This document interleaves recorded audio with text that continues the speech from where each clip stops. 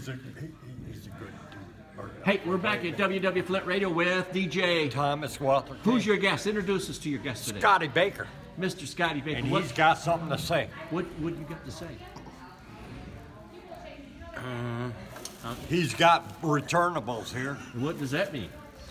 and he's also got a couple of dollars that I just picked, or not pickpocket, but a couple of dollars. you know. Who give you that?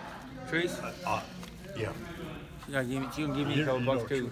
Yeah, she can give me a couple bucks too. She'll give you. Who's your friend here behind you here? You standing?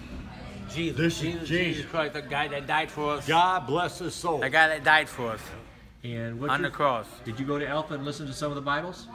Yeah, I just goes on Sunday when they had it open in Thunderground. Yeah, Alpha's coming back. Is it? sir? Yeah. Uh, what's your favorite Bible phrase? I'm going to tell you right now. I'd shout out and say Teresa and Kara is my favorite Bible. Yeah. It's not in the Bible, but associated with the Bible.